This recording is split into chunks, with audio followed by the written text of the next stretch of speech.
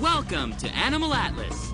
Come with us around the globe and explore the animal world and its jungle animals.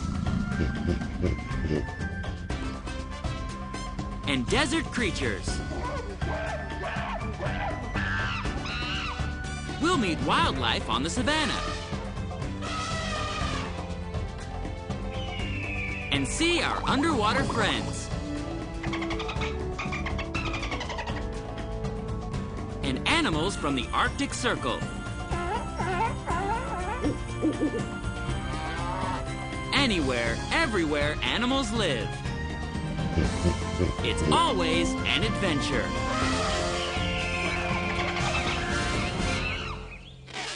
There are only two different kinds of elephants. Just like there are only two different kinds of alligators the African elephant and the Asian elephant. What's the difference between the two elephants? They may look alike at first glance, but they are really quite different. The giant African elephant, with its huge ears shaped like the continent of Africa, is the largest living land mammal and a favorite sight at zoos and animal parks. This behemoth makes its home in the grasslands and open woodlands of the African savanna, where his neighbors might include the giraffe, the ostrich, and the zebra. But the Asian elephant is no less impressive. Though smaller than their African cousins, they can still get up to 11 feet tall and weigh close to 10,000 pounds. Their massive skull makes up a good 12 to 25% of their body weight. The difference is? The Asian elephant's ears are smaller and clearly not shaped like the continent of Africa. Their backs are dome shaped, and their skin is not as wrinkly. These elephants have been domesticated in Asia for centuries, meaning they were bred in captivity to fulfill our human needs, mainly moving people and cargo. They have also been widely used in the lumber industry as a sort of draft animal for hauling logs. When well treated, Asian elephants are docile and highly intelligent. Not only do elephants have the largest brains in the animal kingdom, they also form close social bonds. Maybe elephants fascinate us so much, not because they are so big, or unusual looking with their remarkable trunks, but because they remind us of ourselves, or how we would like to think of ourselves intelligent, loyal, friendly, and with an amusing and pleasant personality. Just like Africa has the white rhino and the black rhino, Asia is home to the Indian rhinoceros, found in the swampy areas of northeast India and Nepal. What do all rhinos have in common? Large heads, thick, stumpy legs, broad chests, poor eyesight, terrific hearing, and a diet consisting solely of vegetation. What else? The most obvious thing, of course, their nose horns. The word rhinoceros, in fact, comes from the Greek words rhino, meaning nose, and ceros, meaning horn. But just like the subtle differences between the Asian elephant and African elephants are apparent if you look closely enough, the ways in which the Indian rhino differs from his two African cousins become clear with a closer look. For one thing, the Indian rhino only has one horn, while its African counterparts have two. Also, the Indian rhino looks like it's wearing armored plating, complete with rivets, as compared to the smooth as a baby's bottom skin of the African white rhino. But this is just a layer of skin that has many folds, and that makes for very impressive body armor. The continent of Africa is home to three of the four great apes the gorilla, the chimpanzee, and the bonobo. But it's Asia who claims the fourth, the magnificent orangutan. The word orangutan means man of the forest in the Malay language. And these apes are mostly arboreal, meaning they live in trees. No other ape has such long reddish brown hair or impressive cheek pads. And though these animals are sociable in captivity, unlike the gorilla, or the chimpanzee, or the bonobo, who live in family groups called troops, the orangutan is mostly a solitary animal, living alone in the heavily forested areas on the islands of Borneo and Sumatra. However, since orangutans have the longest childhood of all the apes, mothers will live with their young for up to seven years. An orangutan's senses, hearing, sight, smell, taste, and touch, are very similar to ours. And often, so are their expressions. Orangutans are omnivores, meaning they will eat both plants and animals. But the bulk of their diet is vegetation. Unlike the tiger, orangutans won't swim. But they do use tools. And each evening, they build a sleeping nest in the tree branches. In their nests, they will curl up and sleep for the night. Here at the zoo, since tree sleeping is not an option, an orangutan prepares a napping platform for herself and her infant.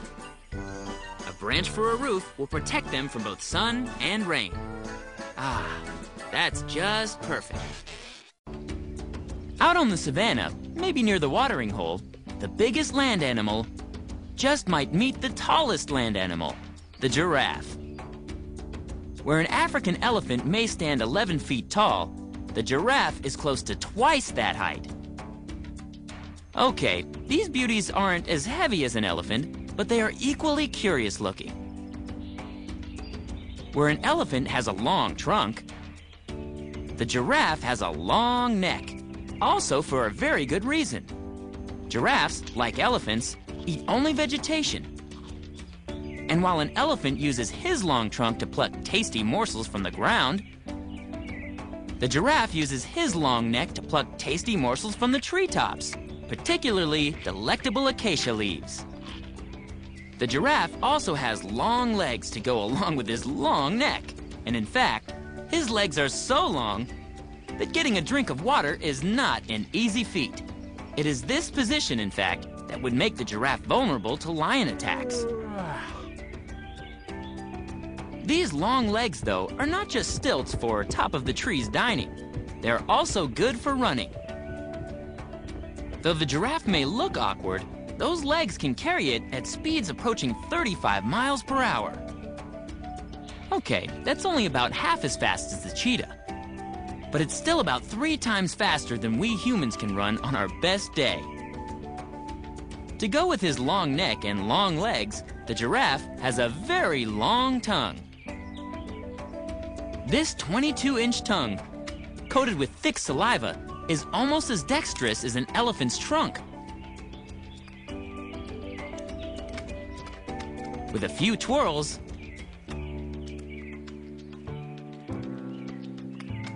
and whirls,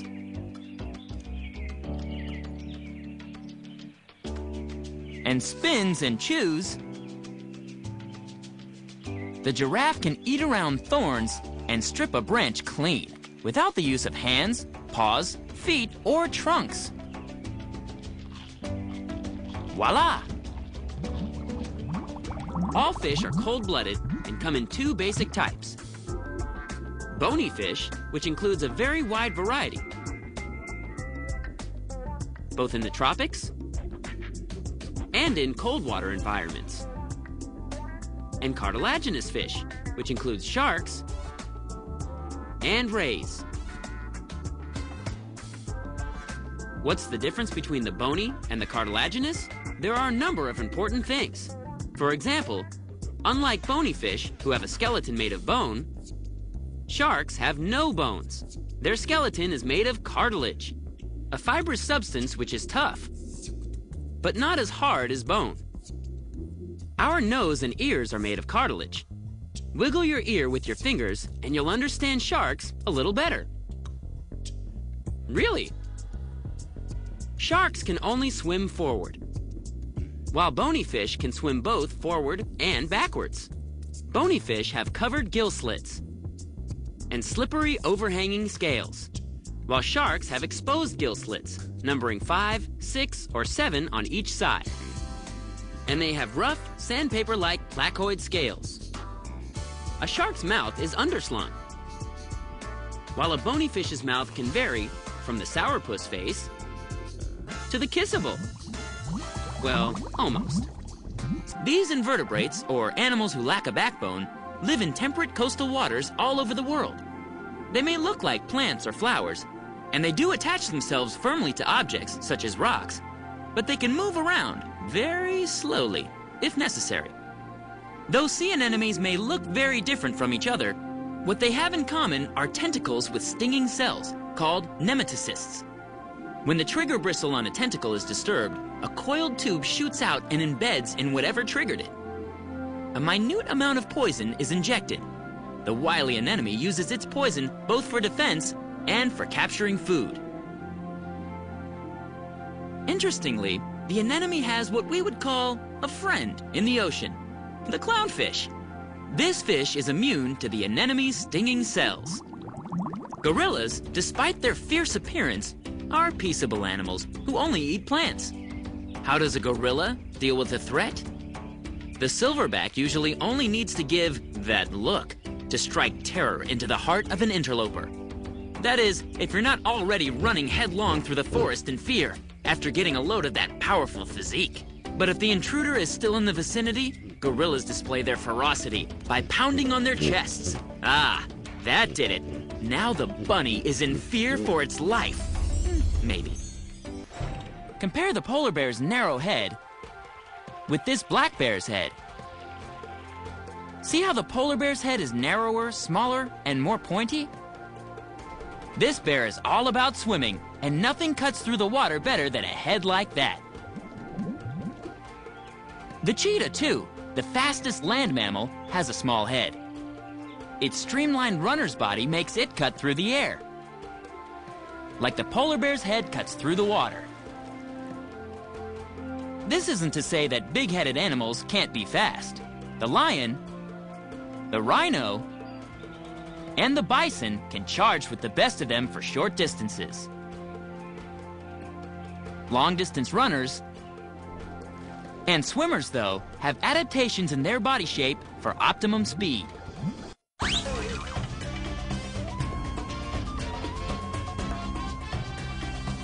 Once again, we've traveled the globe from North and South America to Africa and Asia to Australia and every fascinating place in between. We've met all kinds of incredible animals and learned some important facts about their ability to survive and flourish on our planet. And with our help, we'll make sure they're around for a long time to come. Join us next week for another amazing adventure on Animal Atlas.